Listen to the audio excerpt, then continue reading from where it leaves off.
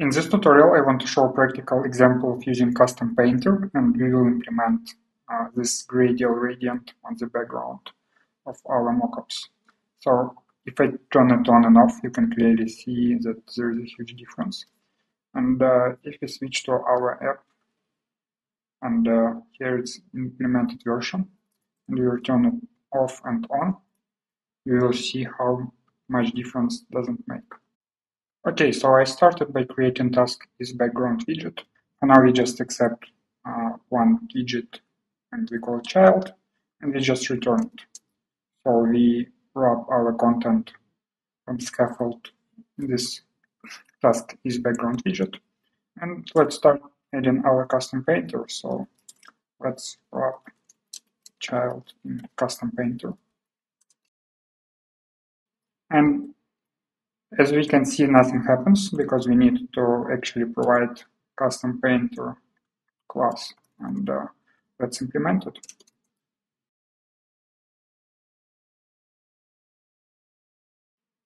So with custom painter, we should uh, really implement a couple of methods. First one is paint,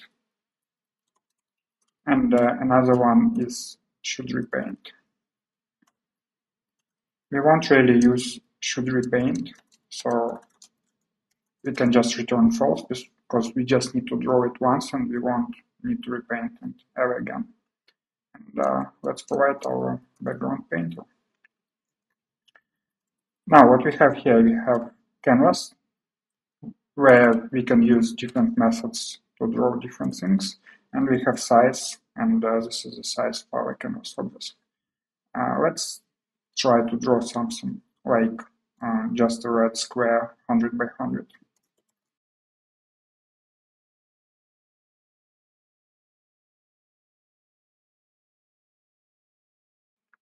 And as you can see, we have our red square over here. Now, I'm not a big fan of code like this, so I will just define different variables.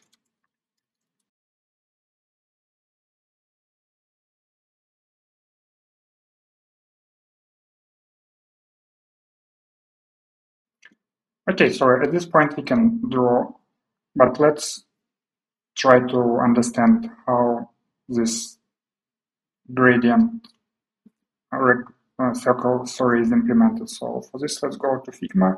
And uh, what I usually do, I just try to turn everything off except what I need. And uh, we need this circle and uh, let's try to inspect our properties. So we have radial gradient, we have layer with mode overlay, 50% opacity, and we have an effect. So let's turn off the effect first. Now let's check the math of our layer. So if you're not familiar with this, that's uh, how it's calculate uh, drawing model drawing. We have the same property in our painter. Let's just switch to normal for now, because uh, if we have an overlay, we use our background to calculate the color of this shape as well. So uh, if you're interested in this, I'll show you the API for blend mode later on. And now let's say we don't want it to be with opacity and all we have is our gradient for now. So I'd say this is where we can start uh, in our code and uh, slowly progress uh, to enable all this one by one. So in order to draw a radial gradient, we need to use shaders. For this, we we can use a property called shader now the question is how to create a shader. Actually, if we check the radial gradient class, it has a method create shader. And we can really use it. The only problem is it, it requires us to pass rect rectangle where this uh, shader will be applied, but it's not complicated because we already have our rectangle right here. Let's just reuse it. And in order to understand logic, let's just pass a couple of colors, like red and the blue one. So now we actually have to draw our if you see draw rect has this radial gradient. Let's actually make it larger for now. So this is our gradient, radial gradient, but that's not what we need. We need it to be in the shape of a circle, not an actual rectangle. So let's change this to draw circle. And for our center, we can just use rect center. Radius will be 150 is just half of the rectangle width, or we can say rect width half. And now we have our circle. Now let's try to apply uh, colors from our Figma. So we have three of them, and uh, as you can see, this one is not exactly in the middle.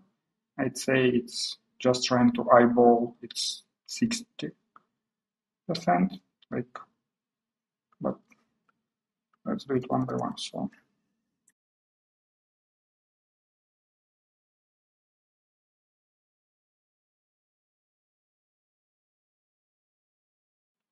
Okay so we have our uh, circle with our rectangle Now, as we can see, the uh, center of uh, our circle of our gradient, sorry, center of our gradient is not exactly the center, because this is our circle. Let's let's find it right here. So it's not at the center; it's actually uh, in a different position.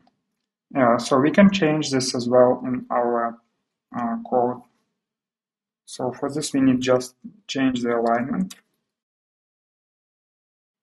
No, sorry, the center property.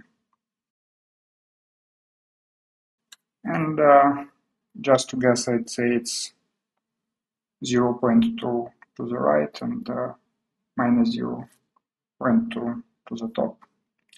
Uh, what I mean by this is that center is just 0, 0 if we want to move center to the right, we can say by x coordinate, we can say 1, and minus 1 is left. Same goes to the y coordinate, so minus 1 is top, and uh, 1 is bottom. And uh, if you go to 0 0.2, it moves a little bit to the right, and minus 0 0.2 a little bit to the top. And it looks very close to what we have right here. Now let's just uh, see what other effects we can apply right now. Let's change the mode to overlay again and change this in our uh, code.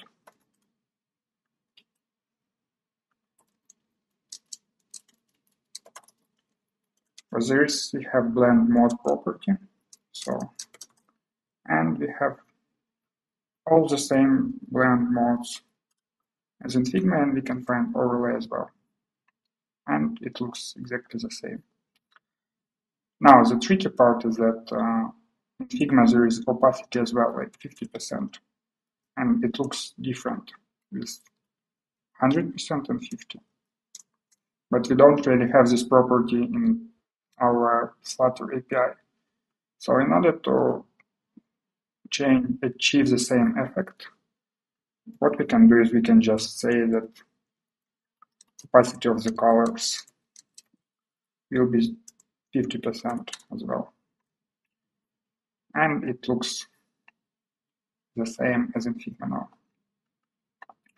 Okay, our last thing is uh, our blur effect and it's quite big blur, so 81.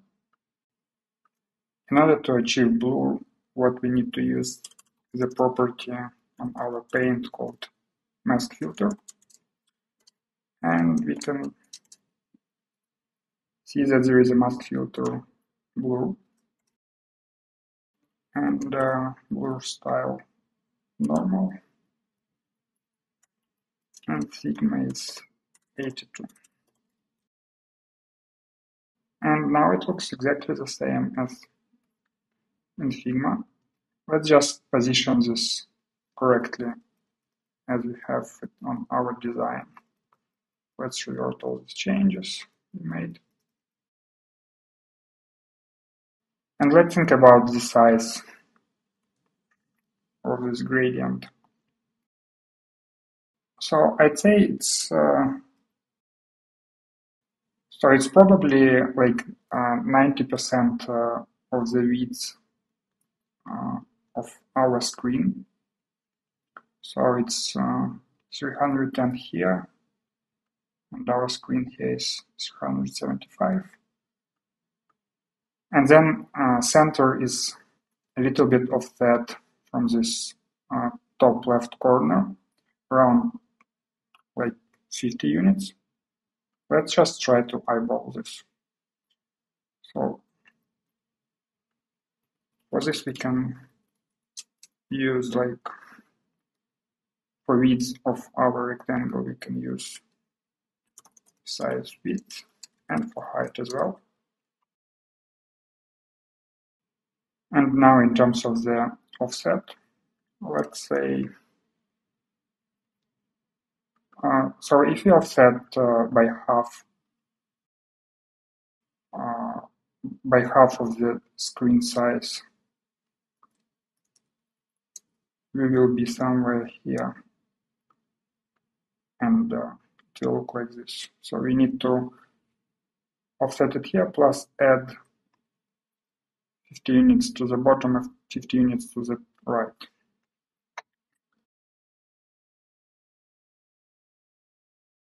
And I was wrong.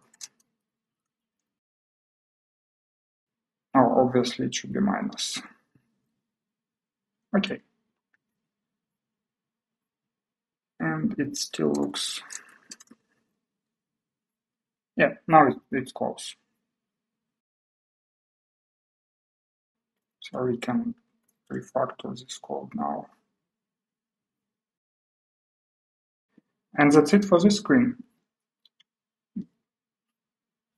Now if we go to our home screen, you can see that there is another gradient at the bottom. Actually in Figma even this screen has another gradient at the bottom. It just doesn't have any sense to draw it because it's usually overlaid by the keyboard. So it doesn't have any sense to implement it on this screen. But if you go to this screen, we can find another gradient over here. And uh, I think we should implement this as well. So what we can do is we can just uh, move all this code into another function, like draw circle gradient.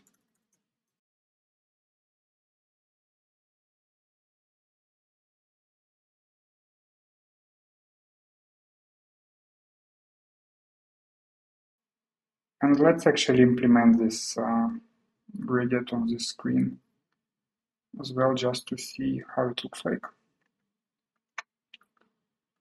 So it's a little bit bigger than on the top left corner. Actually not, it's just the offset is a little bit different.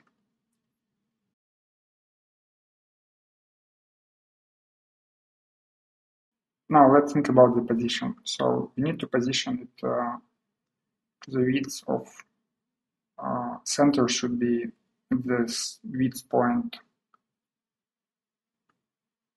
of our screen and shift it to the left. So I'd say it's size width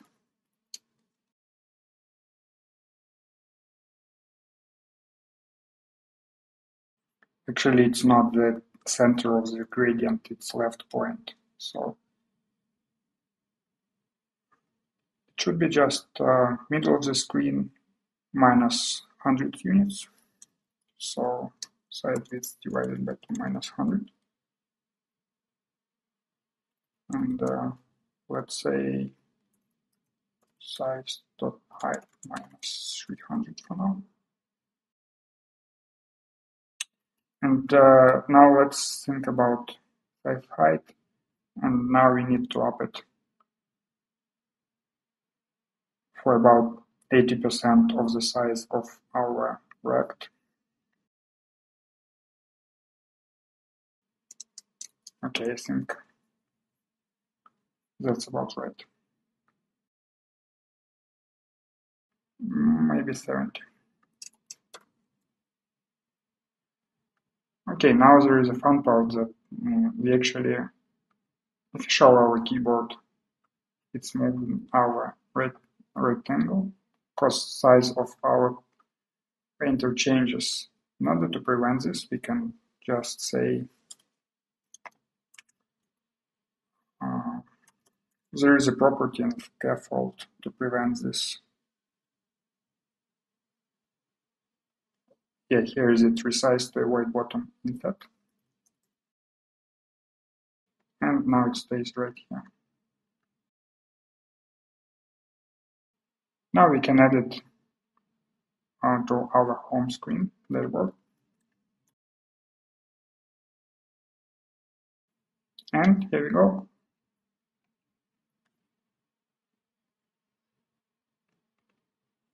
For sure, we have this kind of background uh, on every other screen in our app, so we can just create our task scaffold to avoid repeating ourselves all the time and just reuse one scaffold. But I think it's not really important to, to have to work with custom painters. So that's it. Thank you. Please subscribe.